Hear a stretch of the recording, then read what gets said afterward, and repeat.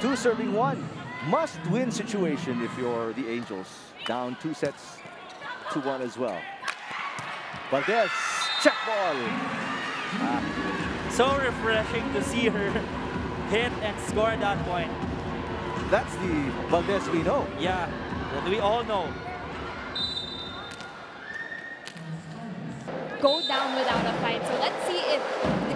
Cool Smashers can bring the good vibes, their championship experience, to take this home. Uh, thank you, Franny. Well, so far, Creamline, they've been able to use that championship Ooh. experience to come from behind in crucial sets as Valdez knocks one in. Speaking of championship experience, that's the championship experience that Franny's talking about. Look at that hit. That's the Alyssa Valdez that the Philippines Yeah. know.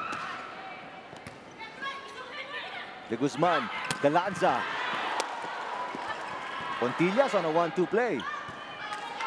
Carlos rising through the block. Yes, spots Carlos. She is fired up.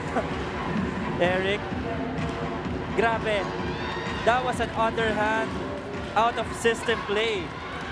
Coming from Gia de Guzman, pero she still found a hole in that block. Petro Gazz leading by two. Eight serving six. Myla Pablo. Carlos has been on fire. Pancake save, no good for Pontillas. Another point. Coming from Tots Carlos, now at 15 points with a 33% attacking percentage. Rodriguez, after scoring on the attack, serving.